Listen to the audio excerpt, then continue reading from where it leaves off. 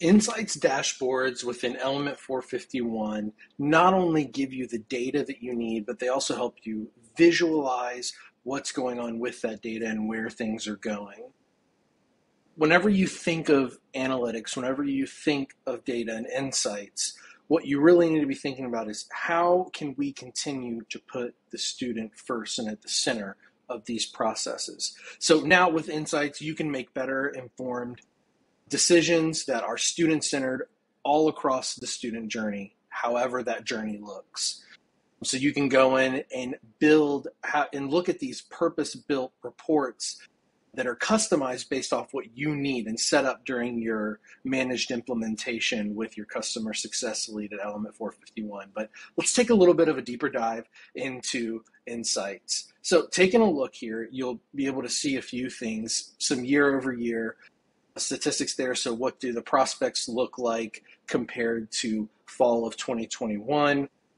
And then the same thing for applications, admits, deposits, and enrollments. So this is really going to show you these funnel insights and help you be able to compare those. What's really great about these dashboards though is it's built over AWS and so you'll be able to see that you can customize all of this data within the analytics dashboard. So Insights will let you change what active term, what student type in. If you want a big broad look at all this data, fantastic. You can look at it all. However, if you don't and you just want to look at the freshman data, then you select freshman and it's going to go live in real time, analyze all the data that lives in Element, and now you'll be able to see everything for just the freshmen that come in here. So that really is a helpful tool to be able to take a broad look at everything or just narrow down and look at things specifically. Same thing with territory information and individual counselors if you're wanting to look at specific data related to a particular counselor or major.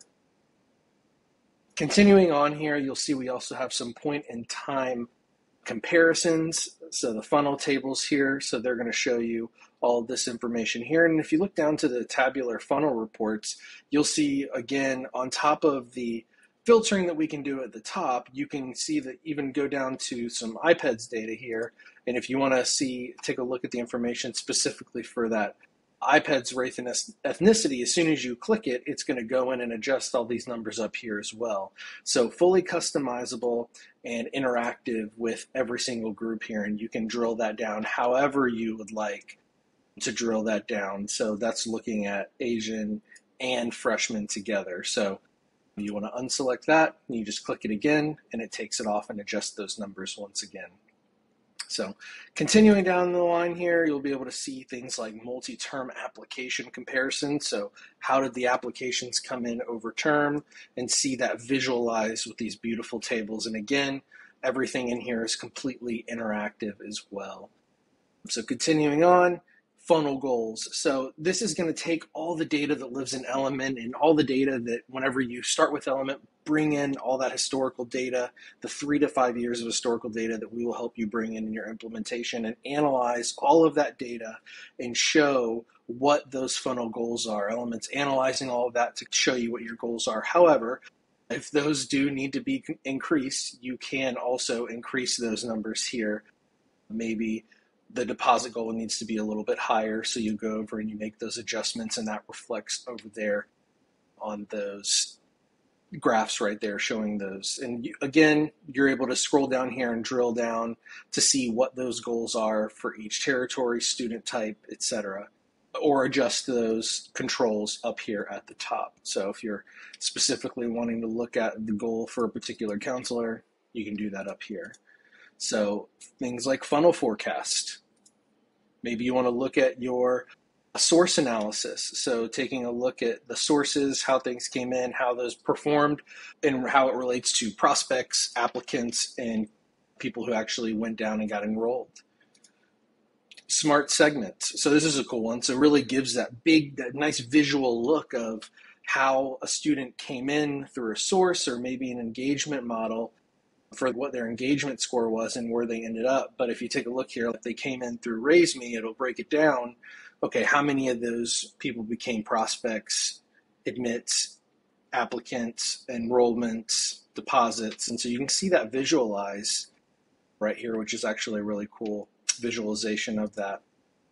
And of course, we have email analytics. How would be a student engagement CRM without email analytics? So it'll break down based off these different campaigns and communications and give you the different statistics there, whether it's for delivered, open, unique opens, click rate, unique click rates, so on and so forth. So you'll be able to get all of that data there as it relates to email analytics events. You have to be able to look at these events so you can manage and gauge what is your ROI for these events that you're throwing? Are you putting in a lot of money for one event?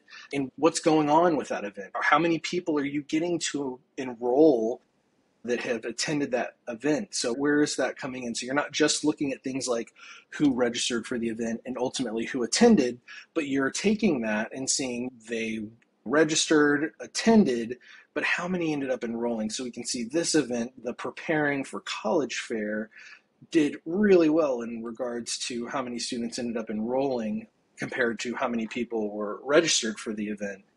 So that's an event you keep going because it's yielding those results. But you'll have others where 20 registrations, 20 people attended, but mm, looks like it kind of stopped at the prospect level, didn't really go past there. So we might want to reevaluate what we're doing there with that event. So it really gives you that insight to see what's impactful, what's not impactful. And then you have things like page views, where you can go through and look at all the pages here and look at those unique page views. You can look at the page views timeline over time, what was the unique events that have occurred over time and where those spikes were, what happened during those times and evaluate that. And then you have this heat map here also showing you that information and data. And last but certainly not least, I know a lot of what we just looked at was pertaining to looking at the student what the student is doing and having that real student centered approach to our data analytics. But it's very, very important that we also take a look at the, this internal dashboard for internal management so you can identify those bottlenecks that you're that may be occurring on a day-to-day basis with your team. So you can look at things like task trends, how many tasks were created, how many were completed on time, and just like the other dashboards, you can go up here and adjust the dates that it's looking at this data. So maybe you notice production was down a little bit this past month. So you look at the month of September and you look at this data and you can narrow down based off of individual staff members or based off the entire team where was that bottleneck? And you can look at the different tabs here and see the different breakdowns and really the visualizations of that data apart from just showing you the numbers of where that was, what was going on, who it was going on with, task averages, things like that. So, very, very useful data. Element 451 does a phenomenal job of showcasing all of the data that we're collecting, whether it be through forms or the applications or tracking the activity of the student or even any data that you're bringing in from another source. And we take that data and we put it all together. So now Element is becoming the single source for all of your marketing, admissions, enrollment data, all of your data for alumni. How's, how are things going with retention? And you're able to really analyze what's going on with these students and how to look at this data, figure out the problems, figure out what you're doing good, figure out what you're doing bad, and now take action on it. Um, we love insights over here. Super excited for you to get your hands on it and how it impact your school. Have a great one.